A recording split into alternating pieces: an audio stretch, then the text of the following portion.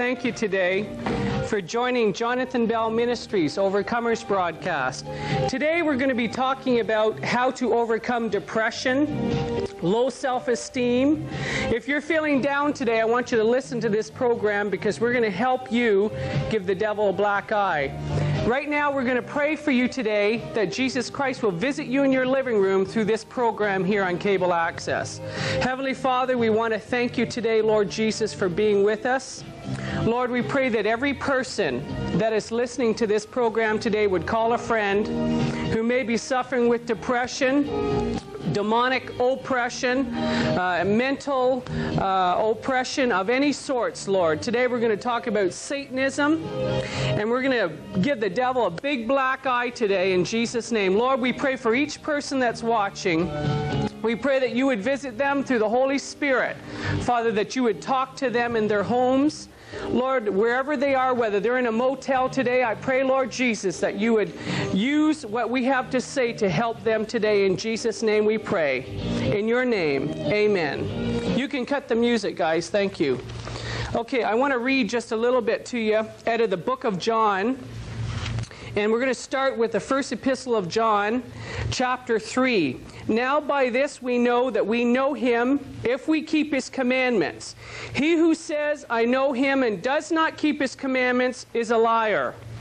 And the truth is not in him. But whoever keeps his word, truly the love of God is perfected in him. By this we know that we are in him. He who says he abides in him ought himself also to walk just as just as he walked, Jesus walked. We're to walk just like Christ.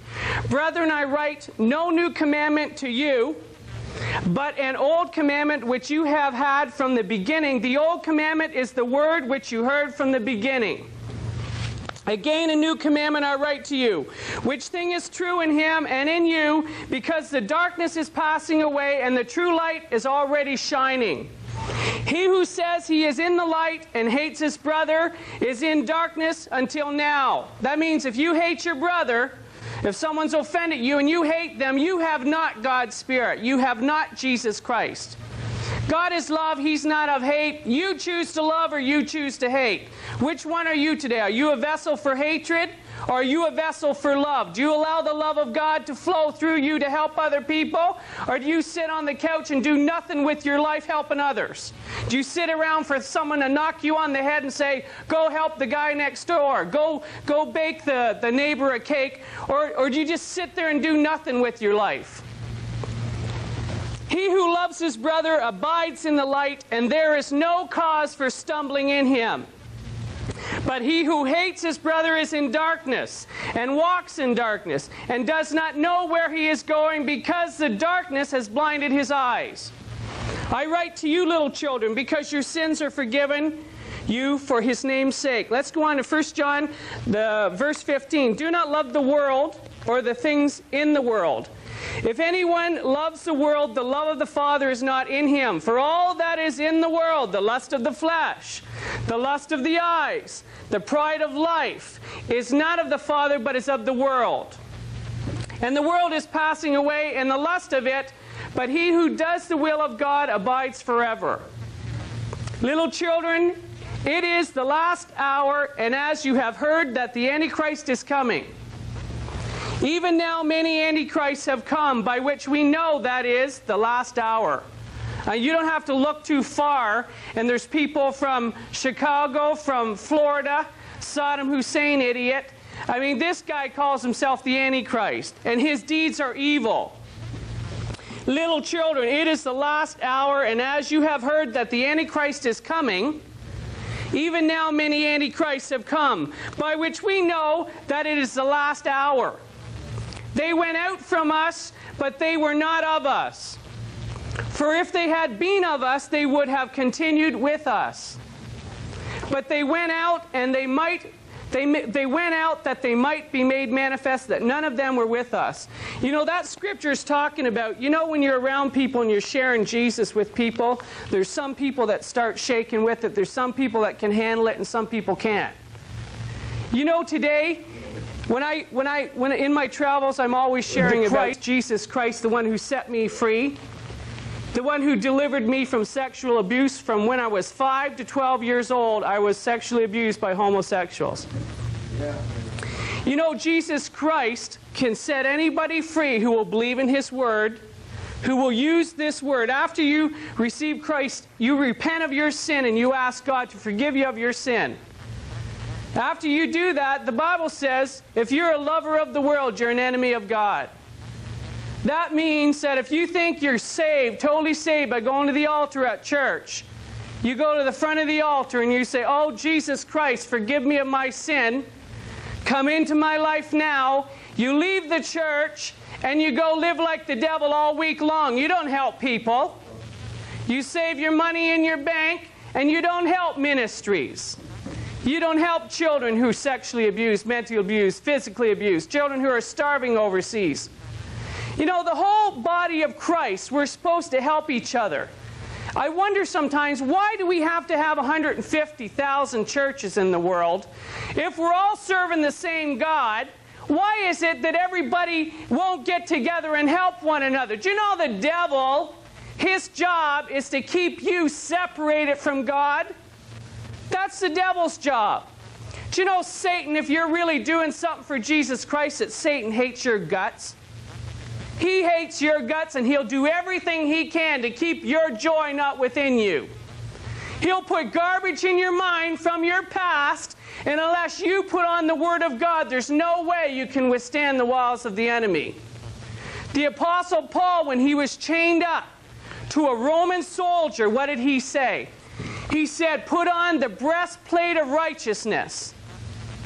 Breastplate of righteousness. Your helmet of salvation, your, your, your, your belt of peace, and, and the brass boots. He was chained up to this garden prison, and he was put in prison because he was preaching the truth.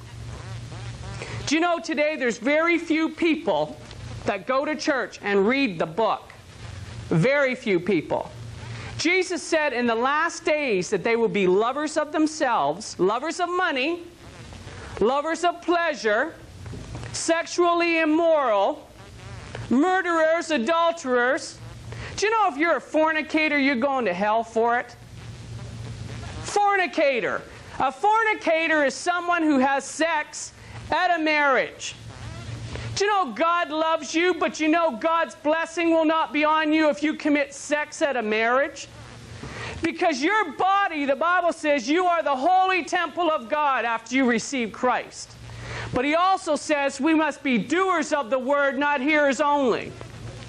Do you know there's all kinds of people preaching, well, come on to the front of the church and accept Jesus Christ, and it's okay from there? You know, that's only the beginning. Jesus said, I'm the author and the finisher of your faith. If you walk to the front of the altar for the first time, you're going to turn your will over to Jesus Christ. There's a few things you have to do if you expect to make it in. There were ten virgins, five foolish and five wise. Five of them asked the five wise, Give us some of your oil. And the oil represents the Spirit of God, the Holy Spirit of God, and the Word of God. In the beginning was the Word, and the Word became flesh, and God was the Word. In the beginning was the Word, and the Word was with God, and God was the Word. You know, you may think that, uh, that maybe I'm a little, a little too excited for you. Maybe I don't preach exactly the way you like me to preach. Maybe I don't have my suit and my tie on tonight. But you know, there's all kinds of people that make judgments on other people by the way they dress, by the way they make their hair, uh, whether they have the leather jackets on or the boots. They make judgments. J Jesus didn't come for the self righteous. If you're self righteous and you don't help the guy who's a beggar on the street, you're worthless. Your life is worthless. Jesus said the highest calling is to be your brother's keeper, to help the fatherless the child who has no father, and the widow. That's one of the highest. Do you know what's on the top of God's hate list? Pride. Pride. God hates pride. There's no way that pride is from God. It's from the evil one. It's from the Jesus said, put away the old man. You have to become a new wine bottle filled with new wine. You must become a new wine bottle. You know, I'm not perfect. I'm not a perfect evangelist. You know, I traveled all over the country, but I'm in Dallas for a while trying to set up a ranch for children who are sexually abused. And you know, there's very few people that want to help other ministries. Very few people. You know, and there's people suffering today with depression and mental abuse and sexual abuse from their past, and they don't know how to overcome it, and they still go to church and they wonder why they're depressed. I suffered with depression until I was 27 years old. And the bottom part of it was I had so much trash in my past, I brought it into the relationship with God when I got saved when I was 17. When I actually realized that Jesus Christ could be real to me, He could be personal. He could be a personal friend who will touch me in the center of my affections. Do you know there's mornings that you, you may wake up and you may feel lonely and you may turn to the phone and phone your mother up or your girlfriend or your boyfriend say, you know, start a conversation with them. Why don't you start a conversation with Jesus Christ when you wake up in the morning? Why don't you build a relationship with Christ? I mean, nothing else in this world matters. It don't matter how much money you got in the bank. It doesn't matter. Nothing matters in this life unless your soul's saved and you're going to heaven. That's the only thing that matters today. Nothing else. It don't matter how big or how hot shot you think you are for the executive for IBM. I mean, give me a break. What you do for a living has got nothing to do with what, what really matters to God. God said He chose the foolish things of this world to confound the wise. Do you know if you're an intellectual, you'll probably end up in hell for it? Doesn't show Himself to the arrogant and proud, He shows Himself to broken vessels. He said, You must become as a child. If you don't surrender your will to Him, there's no way you're going to make it in. No way. You think you think you're going to heaven and you think you're saved just because you put your name on the, on the church ballot? Going to church don't save your soul. You have to build a personal relationship with the one we're talking about who has the key to the gate. Remember the ten virgins? Five of them went to hell. Do you remember the story of the other man, Lazarus' brother or friend? He was in hell and he was crying out to Lazarus for a drop of water. And Lazarus said, I'm sorry, I can't come down there. You've passed over. You know, three years ago, I was one of the top beauty consultants in Canada. I had one of the most successful beauty salons in Ottawa, the capital of Canada. God told me three years ago, two and a half to three years ago, to walk away from my business and called me into full time ministry for Him. And I've been working with street people for 15 years. I did, the, I did my business part time, and I did the ministry part time. But you know, every time I go to church, I always run across these people that try to tell me how to live my life. And if you want to tell me how to live my life, it better line up with the Word of God or shut your mouth. If it's not in the Word of God, don't try to tell me how to live my life and how to interpret the Scriptures, because that's not even biblical. The Bible says to work out your own salvation with fear and trembling. Work out your own salvation. People don't even read their Bible for heaven's sakes. They go to church on Sunday and they think they're just doing God a big favor. And they put two bucks in the offering plate and they think everything's just cool. Well, you're nuts, my friend. You're totally lost it if you believe that. Because that's not even biblical. God's heart is to help people and love other people. And this book says if you don't have love for your neighbor and you don't have love for yourself, how can you have the love of God?